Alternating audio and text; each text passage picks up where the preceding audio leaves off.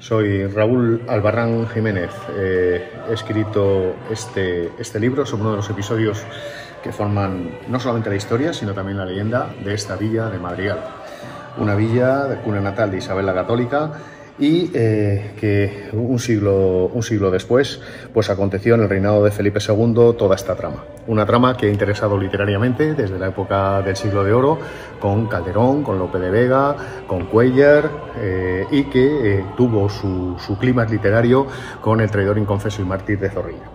Fruto de una investigación de 13 años y dos años de escritura, apareció este libro, son mil páginas, tiene más de 300 fotografías y supone todo un, ensayo para conocer la trama del proceso del pastelero de Madrigal.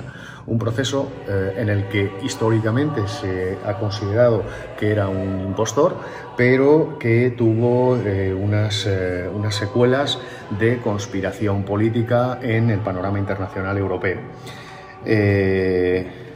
Es un libro de leyendas, es un libro de amores, es un libro de venganzas y sobre todo, eh, bueno, pues la justicia de un rey que quiso eh, acabar con la ignominia y con eh, el pasado de su sobrina, una sobrina de su hija, de su hermanastro Juan de Austria.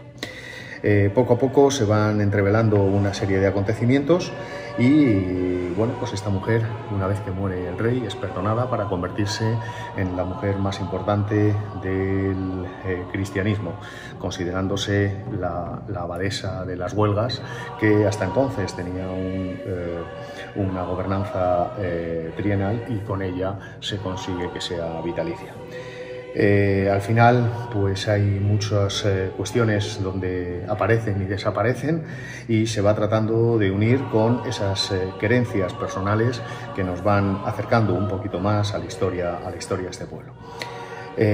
orgulloso de haber colaborado y participado en un, episodio que forma, que forma parte de nuestra historia y que pudo cambiar perfectamente también la misma. Muchas gracias.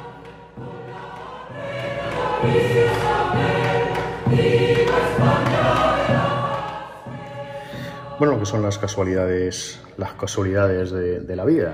Eh, he venido eh, al pueblo de mi madre, eh, he conocido a José Luis y bueno, pues nos hemos intercambiado la lectura de, dos libros, él como coordinador de un libro de Isabel la Católica y yo como autor de La sobrina del rey, un siglo, un siglo después de los hechos de la reina reina, hija ilustre, vecina eh, y cuna de la hispanidad, aquí en el marco incomparable de su villa.